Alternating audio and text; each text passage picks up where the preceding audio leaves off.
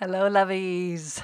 Leslie here with Parenting Paused, and I've had a really fun week hanging out with my daughter, my 22 year old daughter, um, wanting to hang out with me. I'm telling you, that's pretty darn cool.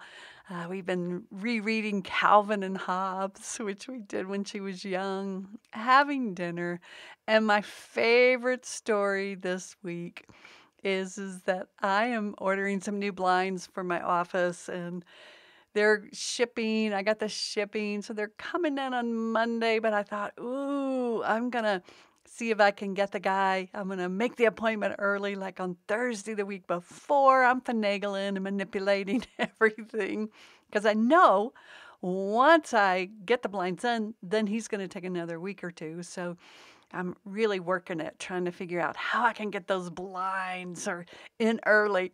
And I'm telling my daughter this, and she's knocking holes in all my theories about how it'll work or why it'll work. And I keep trying to convince her. I'm telling her, but if I do this and then I could cancel. And all of a sudden, out of her mouth comes, You do you, mom. and I loved it so much. I said, What? She said, You do you, mom. And oh my God, it was so cool. Right in that moment, I thought, isn't that the best ever? You do you, mom. Here's my 22 year old realizing that trying to convince me, talk me out of something, push me, pull me, force me, all the things that I tried with her, she finally got it too. And she said, You do you, mom. So I've been laughing all week over that one, sharing that one, as you can imagine. So I wanted to share it with you because this is the ultimate of what we want with our kids. You do you, darling. Because doing ourselves is so powerful. Because what this did for me about me doing me, which is how I have to do it. She could tell me, oh, that's not going to work, or you need to do this.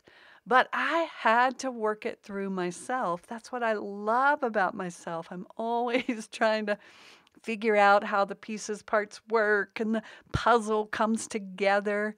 And if she took that away from me, like I used to try to take that away from her, nothing is the same because I don't want that. And I know my daughter didn't want that either. She let me know quite often that she was not interested in doing me.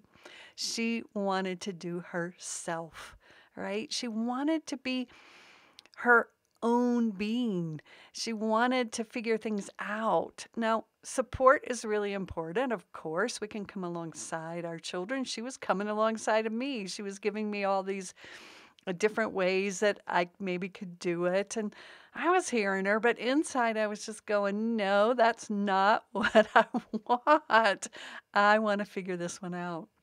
So the funny part of this story is is that I ordered blinds for downstairs also and all of a sudden I started getting all these notices that they're coming, but they're not coming until the following week.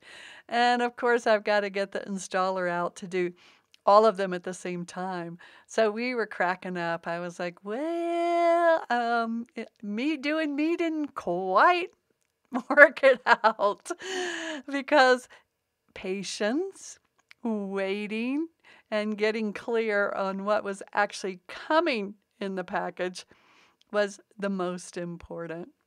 So, lovies, I just wanted to share this story so much because this is my 22 year old so often people ask me like how does this turn out?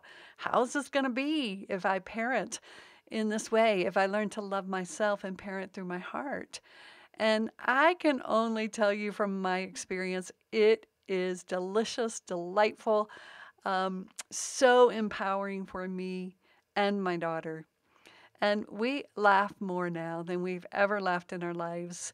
Uh, when i'm doing my thing she's doing her thing we just have so much room and so much space for each other and each other's individuation, each other's autonomy, and knowing how each other uh, do our lives, how we um, find our way in the world. And I'm so clear about mine now, and I'm pretty clear about hers. because I did push and pull and force and have my agenda through her childhood. Never worked, but man, I really tried it. And so now, looking back, truly relaxing, recognizing how important it is for me to be able to do myself and to be seen for that. And to recognize that I have full capacity and capability to do my life the way that I need to. I can truly look out and see that my daughter has the full capacity, the full capability, the fullness of her being to do her life the way she needs to do her life. And let me tell you, it is quite an honor at 22 to come alongside my daughter. Now to have that position of the heart of the supporter that can come in, ask good questions like she asked me without telling her what she needs to do, but being a nice reflector for her as she grows and does her life. So, sweet loves, you do you and your life and your parent. You do your parenting the way your heart tells you your wisdom and let me tell you, it will all be okay.